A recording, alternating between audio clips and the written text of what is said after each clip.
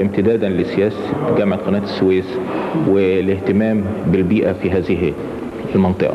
نتيجة إن المنطقة اللي أنشأت فيها الجامعة اللي هي بتشمل خمس محافظات آه، موجودة فيها مسطحات مائية كثيرة منها بحيرة البردويل بحيرة المنزلة قناة السويس خليج السويس خليج العقبة. ومن هنا كانت أهمية إنشاء قسم يهتم بالبيئة المائية وما تحويه من أحياء سواء حيوانية أو نباتية. آه، هذا قسم يعني بدراسة الأحياء المائية فقط. آه، والطالب اللي بيدرس أربع سنين آه، بيدرس إيه خلال هذه الفترة أو هذه المدة؟ الحقيقة الدراسة بتاعتنا بتشمل جوانب كثيرة. بتشمل كيمياء بحرية بيدرس الطالب المكونات بتاعة المية.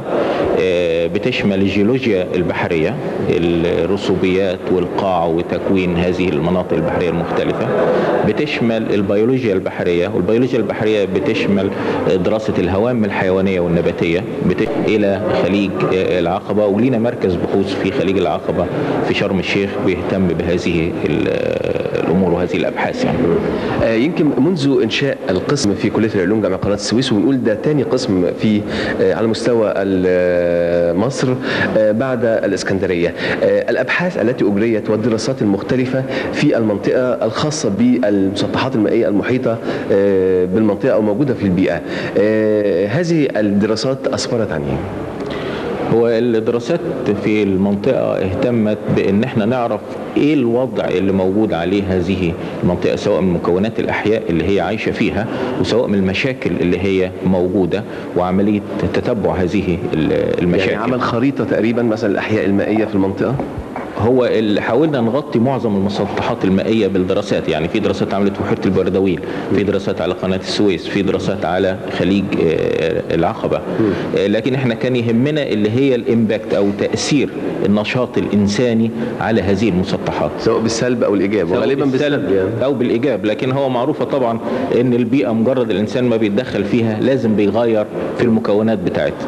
هو دورنا إن إحنا تتبع أو مراقبة هذه التغيرات اللي بتحصل ونحاول إن إحنا نقلل بقدر الإمكان هذه التغيرات. مثلا قناة السويس وعملية التلوث البترولي آه، الناتجة من مرور ال- السفن. الحمد لله ما فيش حوادث حصلت آه، تذكر إلى الآن. لكن آه، عملنا دراسات على احتمالات حدوث هذه الحوادث وإيه التأثير اللي ممكن ينتج وإزاي ممكن نقدر التكاليف بتاعة آه، الناتجة من إذا حدث لنا- مثلا المشكلة أو كده؟ آه لو حصل تسرب بترولي في قناة السويس إيه اللي ممكن يحدث فيها وإزاي بسرعة ممكن نتغلب على هذه المشكلة. أستاذ الدكتور صلاح الأتربي آه، رئيس قسم علوم البحار بكلية العلوم.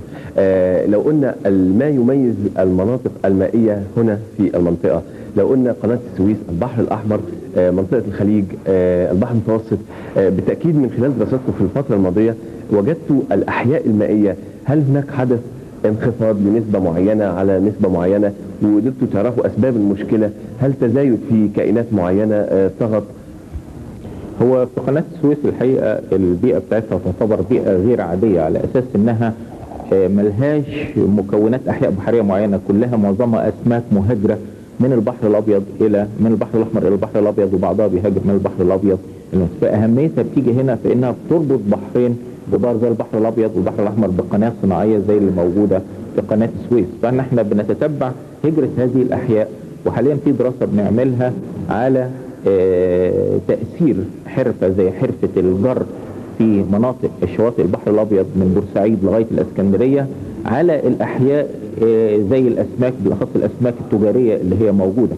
إحنا عارفين إن حرفة الجر آه، اللي هم بيجروا بيها بيجمعوا بيها الأسماك على البر بتموت كتير من ذريعة الأسماك التجارية الكبيرة. فلقينا من في بداية الدراسات لسه الدراسات في الأول في بداية الدراسات إن كمية كبيرة من أسماك اللي هي البوري وأسماك القاروص وأسماك الدنيس آه، بتفقد الذريعة بتاعتها نتيجة هذه الحرفة.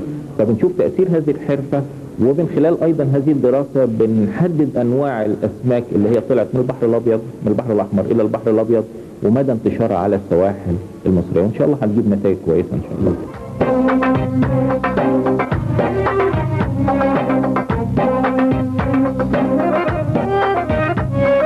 أعزائي المشاهدين يسعدنا أن نلتقي من داخل قسم علوم البحار بكلية العلوم جامعة قناة السويس ببعض من آه، طلبة آه، السنة الرابعة بقسم علوم البحار. آه، السلام عليكم نتعرف عليكم. نجوى مصطفى أحمد خالد. آه طالب؟ لا طالبه الفرقة الثالثة. ثالثة. أهلا وسهلا. ده الدين عبد الرحمن الفرقة الرابعة علوم بحر أهلا وسهلا. وائل عبد الفتاح الفرقة الرابعة علوم بحر يعني سنة رابعة وسنة ثالثة والسنوات النهائية. آه، أحب أعرف من حضراتكم آه، اختياركم لهذا القسم آه، قسم علوم البحار. هو قسم جديد الدراسة فيه شيقة وجديدة في نفس الوقت ولكن هو يعتبر تاني قسم على مستوى الجمهورية بعد الإسكندرية. آه، اختياركم لهذا القسم جاء على منطلق إيه؟ هل مجموع هل في خطة مستقبلية في عند حضراتكم؟ والله هو عامة القسم يعتبر لسه جديد يعني لسه في لسه في نشأته الأولى يعني. أيوه. آه وبعدين عامة البيئة البحرية عامة استهوتني. يعني ده هي شيء جديد تماما آم، يعني مش محتاجين بيها قوي. فأنا كنت أحب أعرف حاجات كتير عن البيئة ديت يعني. هل عشان مجال جديد عايزة تقتحمي هذا المجال؟ آه دي حاجة. وبعدين أصلا يعني من الناحية العلمية عامة البيئة البحرية بتشكل يعني آه، مساحة كبيرة جدا من مساحة الكرة الأرضية. فإحنا ليه طب ما نعرفش حاجة عنها يعني؟ يعني إحنا نعتبر عايشين في مس- في مساحة ضيقة جدا على الأرض. البيئة البحرية فيها آه، ألغاز وطلاسم كتير يعني. أنا بصراحة استهوتني الحكاية دي يعني. سيادتك في بعض اللي بيقولوا طبعا إن كان زمان إن في مجالات خاصة بالجنس اللطيف ومجالات خاصة بالراجل لكن هل هذا المجال تعتقد إن هو مناسب جدا. آه، طبعا تعلموا غوص وغطس وكده. في مخاطر تحت المية. آه، هل توقعت حطيتي في آه، في مخيلتك هذه المخاطر؟ هو طبعا برضو ك- أو- قبل ما أدخل القسم كلهم قالوا لي ده مش مناسب للبنات ده مش عارفة إيه فبس أنا يعني خدتها زي تحدي. وبعدين عامة دلوقتي المجال العلمي ما فيش أي فرق بين البنت والولد العقلية العلمية هي هي. آه فطبعا حكاية الدايفنج دي مش عارفة إيه يعني برضو ده برضو مجال جديد. يعني لما تنزل تشوف الحاجة دي بنفسك تشوف الأحياء البحرية دي يعني طبعا غير لما تكون قاعد قدام التلفزيون بتتفرج يعني. فهي حاجة جديدة ومجال جديد فبصراحة استهوتني جدا يعني. ربنا يوفقك. آه، سيادتك آه، قسم علوم البحار يعني يمكن القسم آه، هو شيق ودراسة شيقة. إيه الجديد اللي أنت آه، طلعت بيه وأنت في سنة رابعة لغاية دلوقتي؟ إيه المعلومات الجديدة اللي طلعت بيها؟ هي المعلومات آه، طبعا هتختلف عن أي جزء تاني خاصة إحنا يعني يعتبر بيولوجيا بحرية. فالمعلومات اللي فيه تختلف يعني عادة بيهتم بالجزء العملي والجزء الحقلي اللي بيختلف عن أي قسم تاني. أي قسم في بيولوجي ما بيهتمش بالحقل.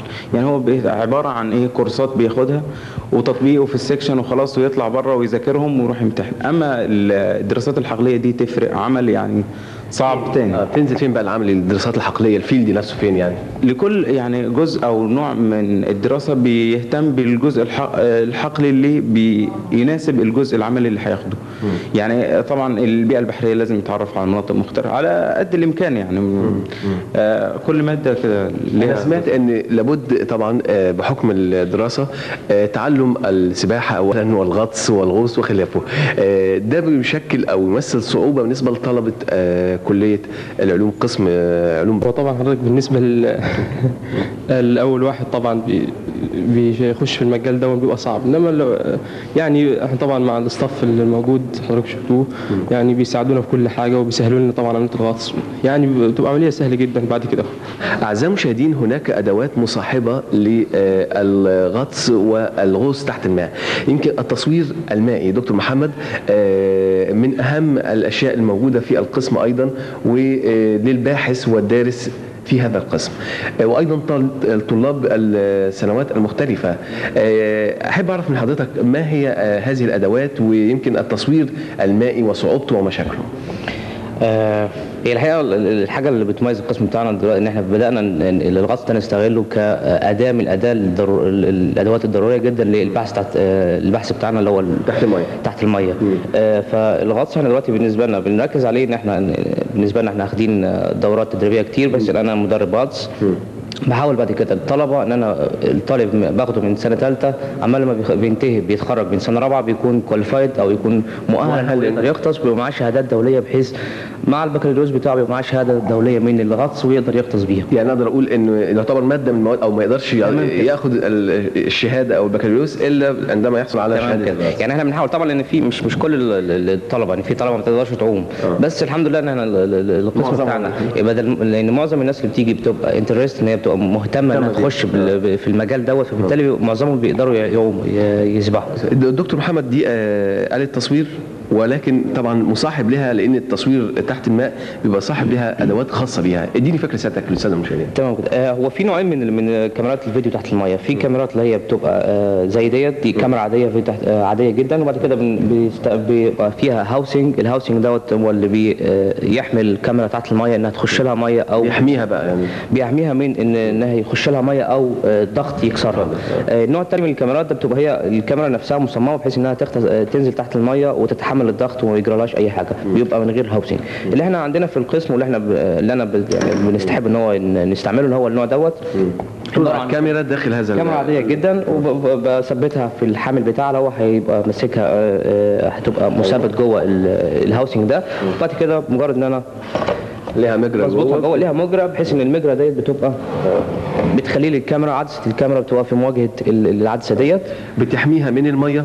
وبتحميها من من المية ومن الضغط. صدمات كل برضه لأن كل ما بننزل تحت المية كل ما ضغط المية بيزيد فبالتالي دوت ال- ال- ال- الكاميرا دي مصممة إنها تست- تستعمل في الضغط العادي فتحت المية ممكن تتكسر. آه، سيادتك استرعى انتباهي جزئين آه، جزئيتين واحب أعرف منهم. اولا تقلها هي تقيلة جدا يعني. هل ما تمثلش عبء؟ على المفروض تبقى أخف من كده يعني. لا هي فوق المية زي زيها زي أي أداة غطس تانية. كل حاجات الغطس تبقى فوق المية تقيلة. لكن آه، بمجرد إنها هننزل لأن هي هي تقيلة يعني. تقيلة قوي يعني. فبمجرد إنها بتنزل تحت المية دي بتتعادل على طول لأن المية زي ما إحنا عارفين إنها فيها قوة طف وبتزق أي حاجة بتزقها لفوق. دي بتبقى يعني ما تمثلش إعاقة بالنسبة للغطاس لا لا بالعكس هي مصممة. الوزن بتاعها مصمم بحيث تحت المية بتبقى صفر اللي هو الوزن بتاعها خالص. الجزئية الثانية وهي الإضاءة. يعني يمكن في أماكن دارك أو آه، مظلمة جدا آه، بين الكهوف ال- تحت المية بين الشعاب المرجانيه آه، كيف الإضاءة آه، تستخدموها داخل المية؟ ويمكن دي أدوات هي دي برضو دي بالنسبة لل- للكفر هنا؟ الكفر الأخير ليها. بحيث إن هي برضو بتمنع المية إنها تخش جوه. بالنسبة للإضاءة إحنا بنستخدم آه، إضاءة. إضاءة عادية. أو مش عادية برضو مصممة للنزول تحت المية. دي بتبقى عبارة عن بطارية بتتشحن كل مرة. وبعد آه، تحت المية بنستغلها بحيث إن إحنا بتدينا فلاش هي مش مش مشحونة عشان كده مفيش نور فيها دلوقتي. ال- النور دوت لازم يكون نور ما هوش حراري بحيث ما بي... ما- لأن لو حرارة ممكن تط... ال- ال- اللمبة ممكن تتفرقع تحت المية. ما بيكونش حراري وفي نفس الوقت لازم يكون أبيض.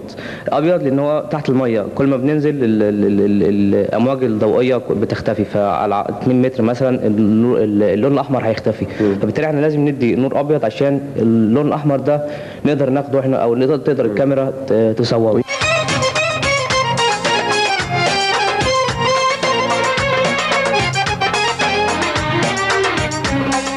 طلبة في قسم علوم البحار بكلية العلوم جامعة قناة السويس. آه، أحب أعرف من حضرتك الجانب العملي اللي بياخده الطلبة هنا آه، لا يقتصر فقط على المعامل اللي إحنا شفناها ونتجول آه، من خلال آه، من الكاميرا البرنامج داخل هذه المعامل. ولكن الجانب العملي في الفيلد أو في المجال التطبيقي نفسه بيتم إزاي؟ هو الحقيقة إحنا حاليا في كلية العلوم وفي قسم علوم البحار إن إحنا بنطور اللائحة بتاعتنا على أساس إن إحنا آه، السنوات القادمة هناخد الطلبة من سنة أولى. طلبة قسم علوم البحار من سنة أولى مش من سنة ثالثه زي ما بيتم دلوقتي ونبتدي نجهزهم بهذا الشكل. ف وبعدين هنعمل حاجة إحنا لينا المحطة بتاعت الأبحاث بتاعتنا اللي هي موجودة في شرم الشيخ.